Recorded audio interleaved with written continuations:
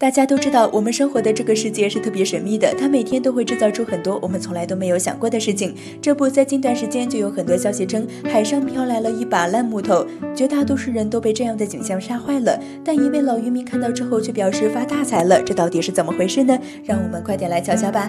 根据我们的了解，最早发现这件事情的是两个在海滩游玩的游客，他们在不远处就发现海上飘来了一根烂木头，这根烂木头上面有很多的生物，它们都在不停的驱动，看起来特别的。诡异恶心，这两位游客根本就不敢靠近。随着时间的不断流逝，围观的人越来越多，人们都在想这根烂木头上的东西是什么呢？但人们想了半天也不知道木头上的东西到底是啥。看到他们全都在不停的驱动，大多数人都吓坏了。但一位老渔民从这个地方经过，看到这一景象之后，就连连表示发大财了。之所以会这样，主要是因为这根木头上的东西就是鹅颈藤壶，它是很珍贵的，被人们称之为地狱海鲜，在市场上的价值很高，尤其是在欧洲境内。